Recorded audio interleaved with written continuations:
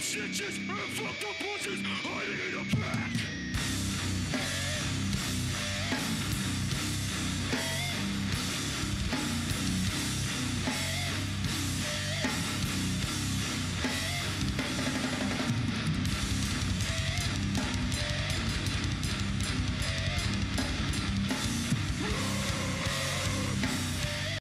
What's going on, gamers and big chumps? Today, we're gonna be doing something super cool, something I've never done on the channel. I reviewed an arcade stick back in the day, but this is my arcade stick, and this is a funny story. Uh, I used to own this a while back. I sold it because I was broke as a motherfucker, and uh, I really wanted it back, so I bought another one. But one thing that always griped me about this Mad Catz TE2 Plus, whatever the fuck it is, TES Plus, I don't I don't remember. TES, there it is. It's in the front right there. Uh, the thing I didn't like about this stick was the artwork. I don't like Street Fighter 5. I don't. And don't argue with me on that. Cause straight up, dog, I don't like Street Fighter 5. So I think the stick is really, really phenomenal. Uh, I love the buttons on this. I love the quality. I love the weight. I love the stick. Uh, I did change it out with the with the eight-way gate already, but the thing I really didn't like about this stick was the artwork on it. That's gonna change now. Uh, I was looking into how I can mod this because I'm not really a modding person myself, so this is gonna be a very new experience to me. And I'm kind of scared because my hands are really shaky and I can't work well with tools and stuff. But I'm gonna try my very best and hopefully recording makes me like ease up a little bit and give me a little bit more motivation to do this. So yeah, today we're gonna be modding the TES Plus by Mad Catz. And also, I'm gonna be showing you some gameplay footage of this working on the PlayStation 5. Because yes, most PlayStation 4 arcade sticks should work with this.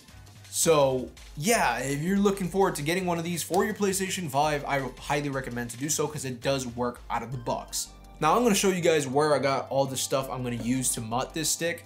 And I got it all from FocusAttack.com. Uh, they sell buttons, switches, uh, boards, whatever arcade stick peripherals you need in the market. Yeah, I, I never even knew about this place and I thought it was pretty damn cool.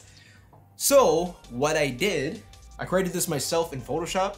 If you guys want to use this decal or this artwork, I got you. Uh, I'll probably link a PSD file down in the description. So the way you do this is that you turn this in as a Photoshop file. Uh, you put in the artwork that you want in the Photoshop file, and then you turn it in, and they make it for you. And dude, it is super clean. Look at that.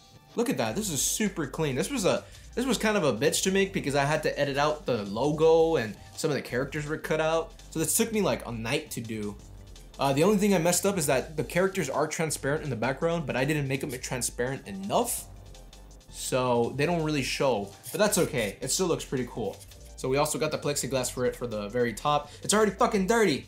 Shit. And I also got a few buttons here. I got some translucent yellow buttons. Uh, they look green more than yellow. I'm kind of disappointed in that, but that's okay. Uh, I'm pretty sure it'll still look fine. And some two uh, translucent white buttons, which are gonna go on the N2 buttons uh, right, I think it's the L1 and L2 buttons right here that uh, they're gonna go through. So without further ado, let's get started, chumps, and let's hope I don't fuck it up. Alright, I'm gonna be straight up with y'all. I don't know what the fuck I'm doing. Like I said, I'm not too familiar with what I'm doing. Uh, I'm trying my best on this, so I'm hoping that everything comes alright.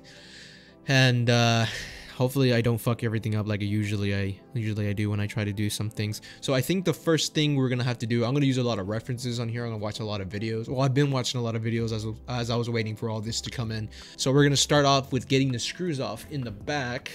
So as we can see, there's what one, two, three, four, five, six screws. Yeah, you don't have to take these off. These are the legs, but uh, just those six screws that you need to take off, and we should be good to go. So we're just gonna get a regular Phillips screwdriver Phillips head screwdriver, and uh, we should be on our way.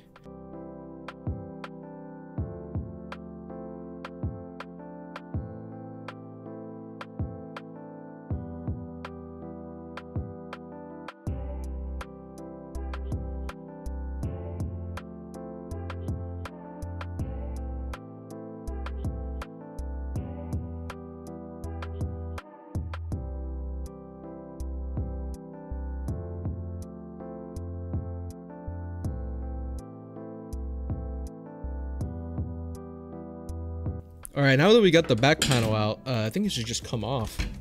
I think it should. There you go. It just comes off just like that. All right, um, I don't know whether I should remove the screws. Oh, I do need to remove the ball top. I think I remember how to remove that. I think I need a flat head, don't I? And it just comes off.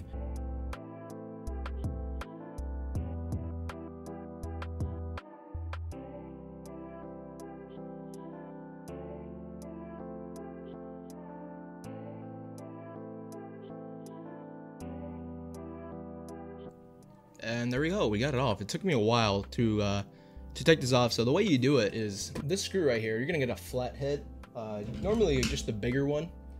And you're gonna turn it uh, clockwise alongside the ball top on both ends. And then this should just pop off and you should just be able to screw it right off. You'll feel the click. It'll, it'll click off and you'll be able to take it off. So it's not too hard. Uh, my hands are getting in the way of uh, doing this because i'm getting a little nervous. But uh, hopefully that's uh, the end of our issues there. But yeah, we got that off, so we will be able to take off the back panel out of the way. All right, so now that the ball top is off, uh, let's also not lose these things here. We're gonna need these for later, so let's put them to a side. Uh, also, I'm gonna have to take a picture of these wirings so I can know where which is which.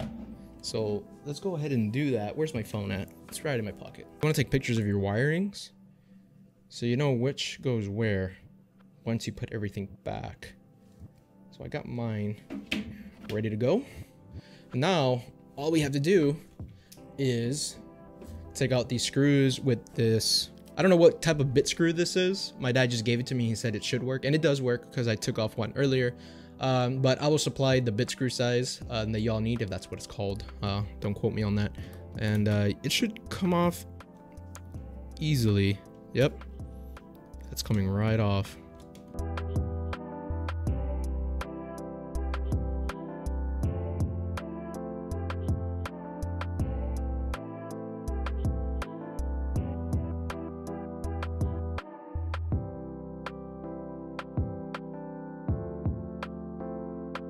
All right, and there goes the last screw.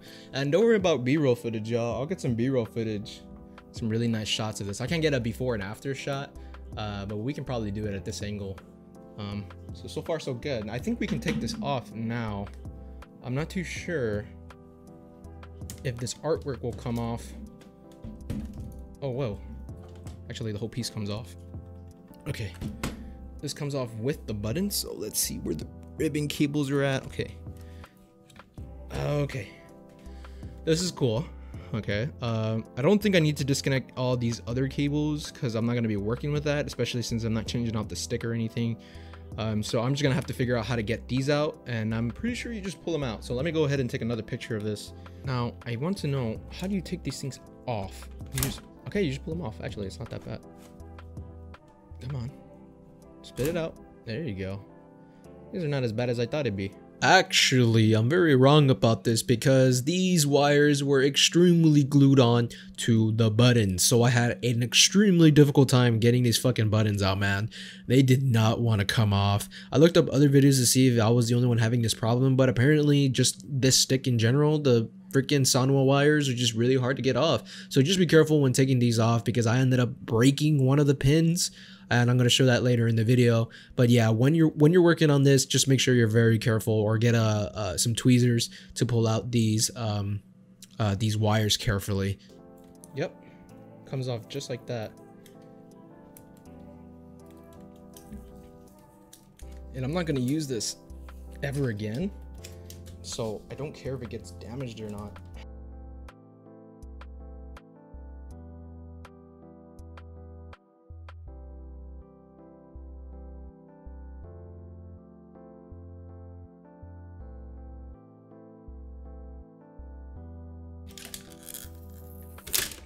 There you go.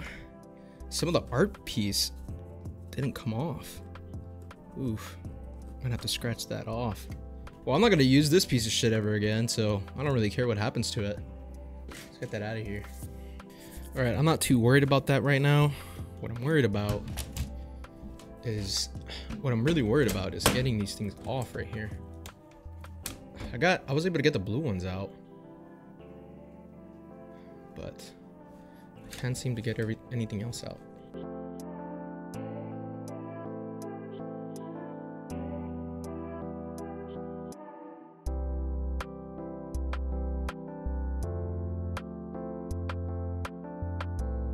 So I'm gonna jump to a little forward from this where I took off all the buttons already. I finished that process, but uh, I did end up messing one of the wires up. One of the pins actually bent and came off entirely from the wire itself. I wasn't pulling on the wire itself. I was pulling on the metal piece and me using my fingers with the metal piece trying to wiggle it slightly uh, left and right. Uh, it broke. It bent and it came off and it, it was glued onto one of the pins on here so um, I had to do what I uh, never thought of doing, which was getting a ply of, uh, you know, metal tweezers and yanking them out because those things are glued on, man. They're glued the fuck on. Like, they're not gonna come off, man. Um, which is unfortunate that I messed up one of the wires. And uh, I have another arcade stick lying around. Hopefully I can be able to get one of the wires out of that and uh, replace it with that. But I'm not too sure if you need both of these wires, like of each wire to, uh, for each button to work. Uh, I'm guessing that's the case. Um, I'm pretty sad right now because I, I, did mess it up. Somehow I knew in this project I was going to mess it up, but I'm going to continue with the project and show you the final product. And uh, hopefully everything turns all right. We're just to line this up and put in the buttons as we all wanted to do in the first place. Okay, that's lined up. Now let's just line these two up. I already cut out all the, the cutouts and stuff. So rest in peace Chun-Li's face. She's no longer on the artwork. And we're just gonna line this up and start placing the buttons in. So the buttons are flush with our artwork here. That looks badass. That's making me a little bit more happy. So I, I know it's not completely broken. I know I can mess around with the wires and, you know, um, you know, fix something up. These things are very fixable, but I don't have the experience to do so. So I'm gonna have to wait a little longer till I am able to use this. So we're gonna start with the first button. Like again, another translucent yellow. Uh, these were not yellow at all. These ended up being green, but I still think they look cool. So, and that looks super tight. Nice. So we're gonna go ahead and put everything else in.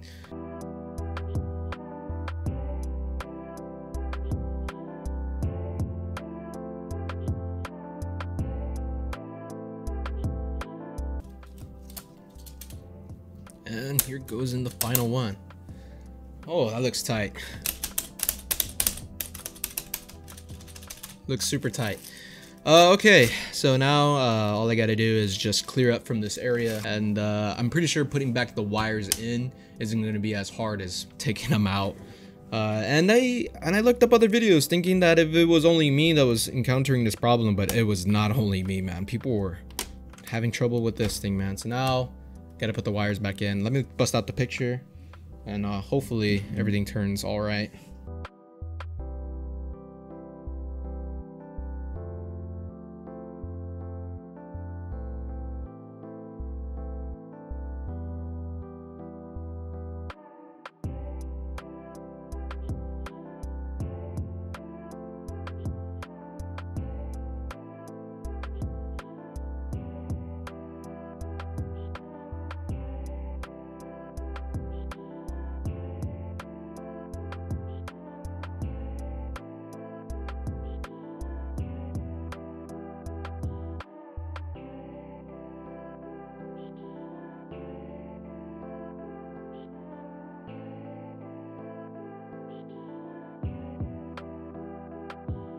Alright, so it seems that I got all of them in already. And, uh, yeah. It seems to be the case so far. So everything's done down here, um, despite the wrong, uh, the messed up wire that I did here, which is unfortunate, like I said earlier. Um, but so far so good. Um, I'm gonna go ahead and uh, test this out just to see if even the triangle button will even boot up. Um, but I have any I have very high doubts that it will. Also, I got some great news. I just attached this right now to my computer and uh, I was able to actually put in the broken pin back into one of the buttons and put the little plastic thing inside it. And it's secure enough because the only way it's coming off is if you pull it uh, if you pull it. And I shook it around and everything, and it's not coming off, and it worked. So yes, I bent it. Yes, it broke off. But as long as it's making contact in some certain way, it works, and I don't feel any latency and everything. So I'm really, really happy about that. I'm glad that I didn't fuck it up entirely. Well, I technically fucked it up, but uh, it works, um, and I'm very happy about that. So as long as it's steady and it's still, um, it should be working. So uh, I'm just hoping it doesn't come loose when I uh, play it. But as I said, um, you have to actually pull it for it to come off the little plastic piece uh, on the Sanwa wire to for it to come off. So uh, I don't think I don't think it should come off too easily. So I'm gonna screw everything back in. Uh, I'm gonna get the back plate on first. Well, I'm gonna get the front panel on first, and then I'll do the black plate, and then I'll uh, screw in. Well, since we're already at this process, let's get let's go ahead and start screwing everything back in.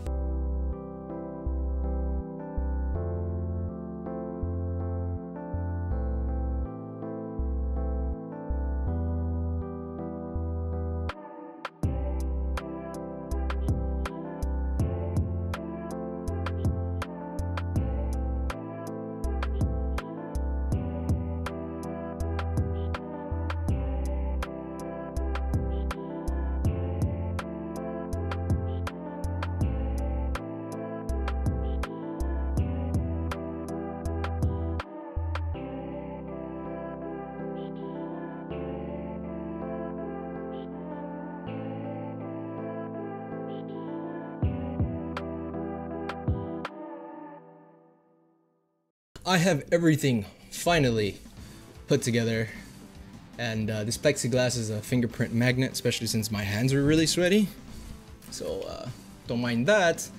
But other than that, not bad for my first arcade stick mod. I never thought I'd ever do this in my life because I was so scared to do it. But I'm glad I did it. It was a little scary. Um, but this thing looks fucking awesome. Like, god damn, dude, this thing is a freaking beauty. Oh my god, I got my boy Spider-Man, Venom. The only characters that really matter in Marvel vs. Capcom. Changed my fucking mind. And uh, I absolutely love this stick. It, it's way much better than whatever the fuck this was. Jesus. Hated this thing. It's so ugly. And now look at it. Fuck you. You suck. Nah, I'm very proud of myself for doing this. Um, I never thought it, like I said, I never thought I was going to. But uh, this is great. I really, really love this. Now, this is going to be my fight stick for life now. Unless I do another fight stick mod and maybe probably make my own. But uh, so far, so good, man. I love, I actually ended up liking the button so far. It fits it so well. I really love it. Even though it don't look too yellow, um, it looks great. Um, so now that we got all that fixed up and put together, it took me quite a while. Uh, how about some gameplay footage?